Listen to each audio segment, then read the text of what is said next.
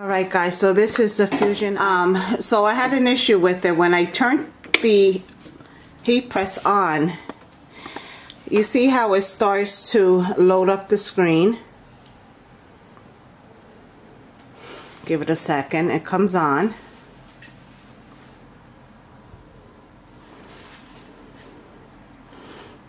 All right, so then now it's saying it's heating at 350 um, degrees for, and it'll be warm in 20 minutes.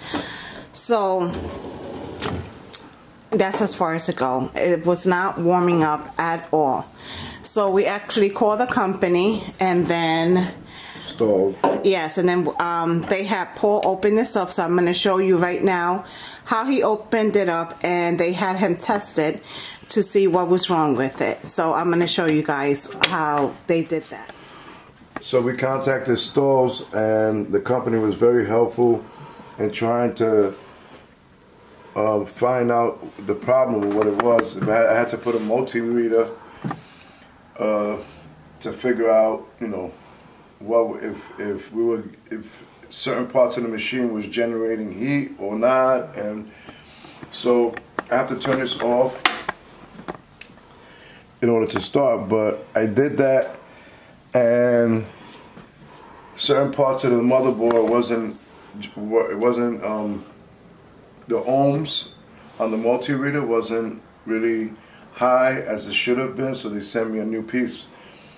But in order to open this, you have to put like a little pin here on either side, push a little firm, be firm with it, don't be scared to, to push it in because it won't pop out. And this is the motherboard here. So what they had us do Okay. what they had us do was test these two bottom pins here. Which ones? These right here. These pins here. Okay. I had to test these two pins here, not the top one. The first one, you'll see that it looks similar to this, but it doesn't have any pins. And these were the ones that we had to check with the multi-reader. We checked these two pins, and then we had to check this square pin here and this pin at the end. This side of the board was generating enough ohms, this side wasn't. So they decided to send us this apart, which they were pretty quick in doing. Yeah, we had to pay to have it overnighted because I have so many orders that um, I, can't, I couldn't be a couple of days without the heat press. So they would not pay to overnight it. They would have shipped it for free, but not overnight. But overnight from um, Pennsylvania, right, to Right. Jersey was 26 bucks. Almost by Pitts- Pittsburgh. I don't see any instructions. So the new, which is the new one? Um, this is a new one. It has the motherboard, which which is stays in place, and then this part, which we just took out. And that part alone, they said would it cost us um, how much? 600 Uh, six hundred over six hundred twenty-five dollars. just for that piece. We did get Just it for, for free. piece. I haven't had the heat press. not for free because we had it on the warranty still. Yeah, for the warranty, but we didn't have to pay. Right. So it's for free. Um, so um, I had this heat press now for maybe about six or seven months, and I was devastated when it stopped working. Um, this was supposed to come with instructions, but I don't even see that it has any. It doesn't have any. Where's the? Um, So what we're gonna use is my tools um, for my Rocoma. so that's what we're gonna be using to try to fix our um, I'm at unplug Stahls' this. heat press. Yeah, Just unplug it. Just in case. Yeah. There's no electric. And I was really upset because you guys um, know that this is not a cheap heat press. So for it to have already went out heavy, on me, it's heavy, too. Yeah, it's heavy. For it to have went out on me within six months, like I was really upset. And then we had to. What I ended up using while he's doing that, I ended up using um, the Cricut heat press, but it's not the best. Uh, maybe for little projects, for but yeah, it was taking me forever. So I did use this. the couple of days. I think it was like two for two days before I left to Puerto Rico. But as soon as we came back, we called the company um, the very next day after getting back about this heat press.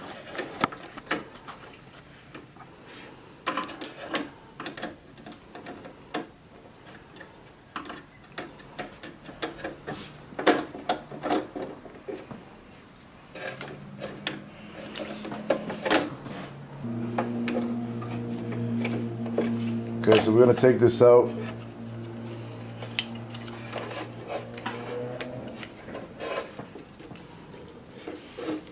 There's a lot of plugging and unplugging to do, so Take a picture, that's what I'm gonna do. and then that way we know we're putting it back the same. I'm gonna start plugging them in one for one as I'm taking them out. That's way, this way it makes it easier. This right here I'm figuring is a ground because it was up in the upper right corner. Yeah, so we're taking these wires out.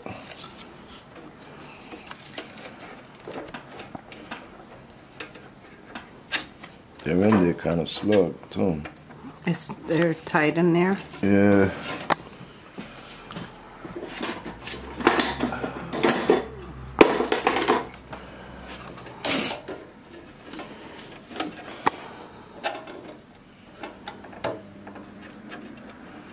Eso no lo va a picar, ¿verdad?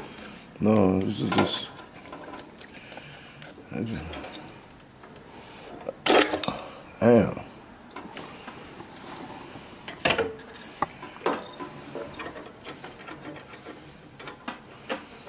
Is kind of.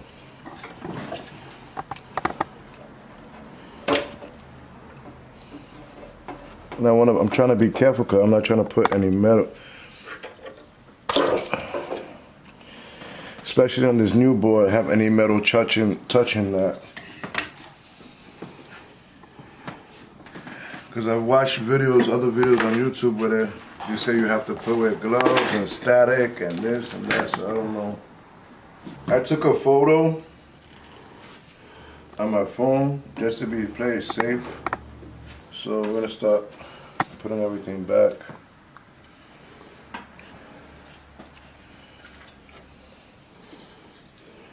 This is the red. The red one goes first, up in the upper left corner.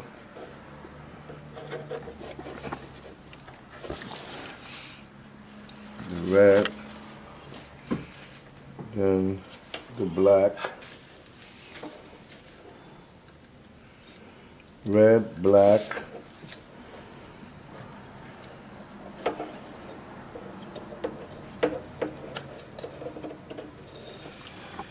And then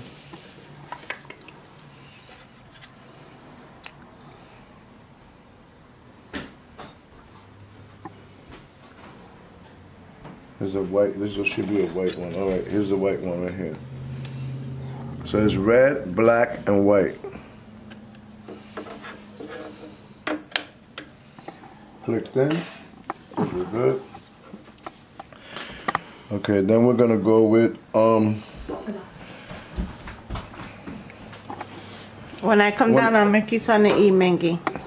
When I was taking it apart, I noticed that certain the way everything is wired, you might want to put certain wires on first. That way, before we put these on, you have a little room here to move this around. Because once you put this in, it's going to limit the movement. So I'm gonna go. I'm gonna start with this wire, the three prong. It has to go on the last two pins here. There's two pins right here. And there's one, two, three, four, five, six, seven, eight pins there.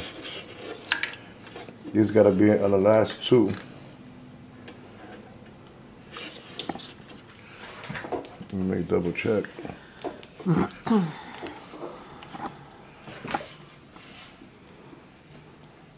Yep. I'm checking because there's two little grooves here. See these two grooves? So obviously in my picture I don't see them. That means it was put in the way I'm, i want to put it in. So I just want to do everything exactly the way it was on the other board.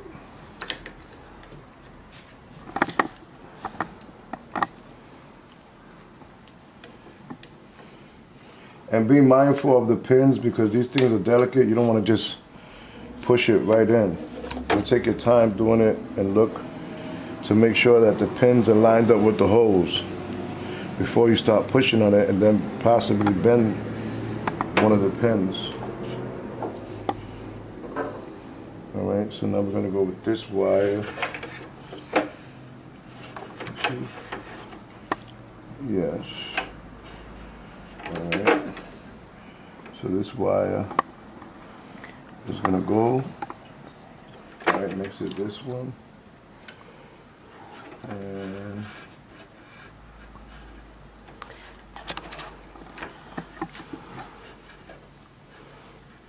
okay. So facing this way. So this clip here, you're gonna see there's a slot here, and on where they're supposed to go, there's a little piece of plastic that goes into that slot. So you can line, make sure you have it lined up correctly. See that? See the slot? Now you, it goes right in and it locks nothing.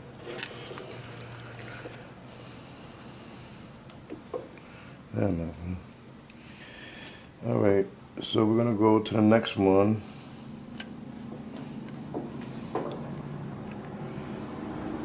Which is the, the black, green, white, and red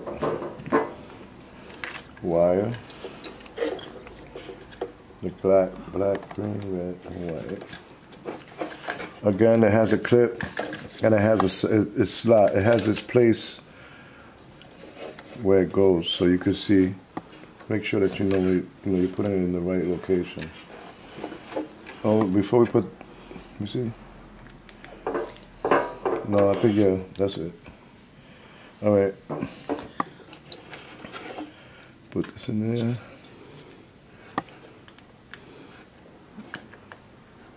You're ashy.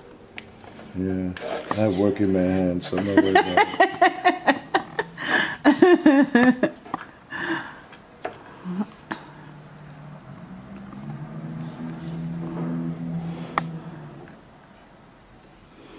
I think it goes this way.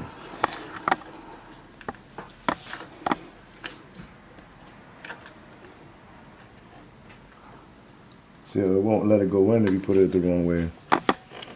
See that? It won't let me go put it in. Now if I turn it around, then it goes in.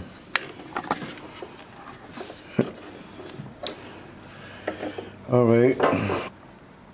The yellow and green wire, the black, and the white.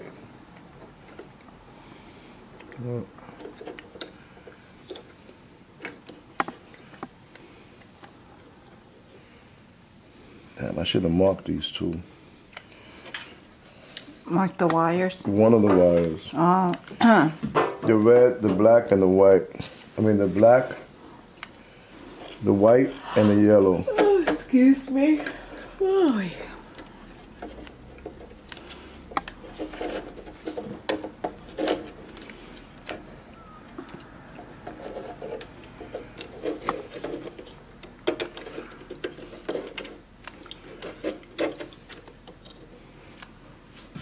pretty good. So now we have this one is marked with a green tape. So this is the first one. And this one looks like this goes to the second one and this to the third. But I should have marked this one of these two because they're both the same.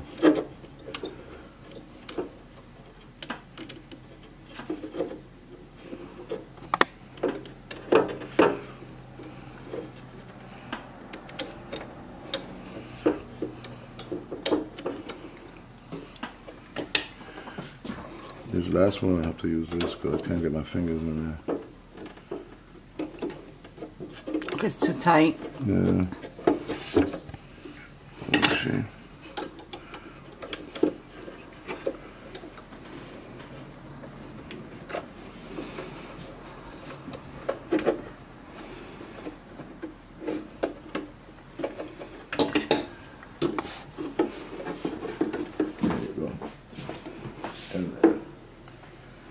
Got a needle nose pliers. Again, just try to do everything with your hands. Don't try to do it with the the pliers and then have it um, brushing up on anything on any of these uh, pins and stuff. But we're in there. Yeah, so when you're putting it back in, you don't want to put put them too tight. Want to be able to get the board in there first. Just give it a few twists. That way you can get everything even.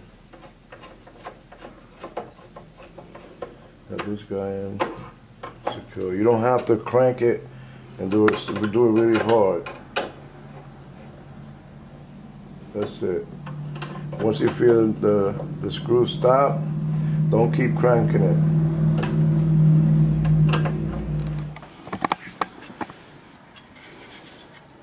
If I work my magic.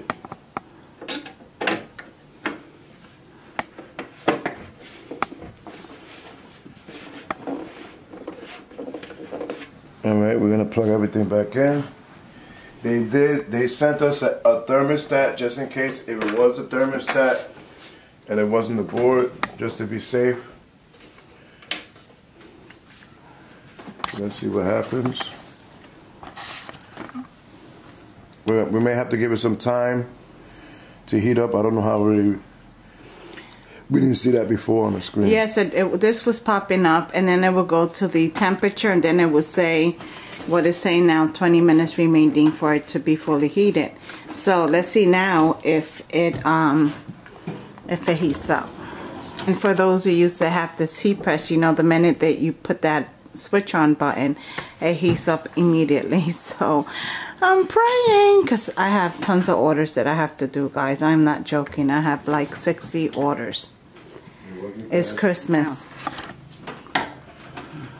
Okay, so in order to gain access, we changed the um the board and the motherboard and the screen, and it's not still not working.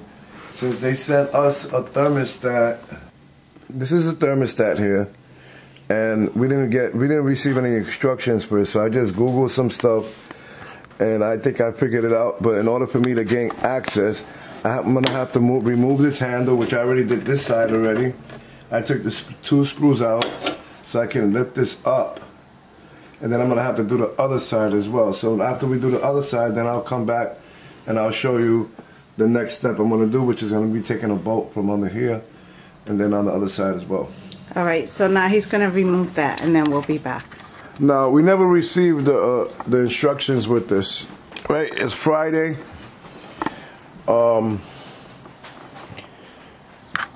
I changed the motherboard and everything. I have it out right now because I'm trying. I was trying to see if I could untighten those um, bolts that hold this plate up, and it's not working. I'm gonna have to go through a bunch of crap to do it.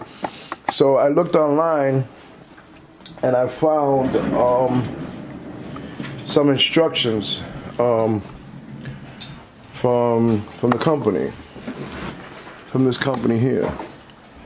Hotronix. Okay, which is uh, obviously a product of Stahls. Um, so this is this is the amount of space I have to work with, and I have a big fingers. So just imagine, this is one of my is one of my fingers.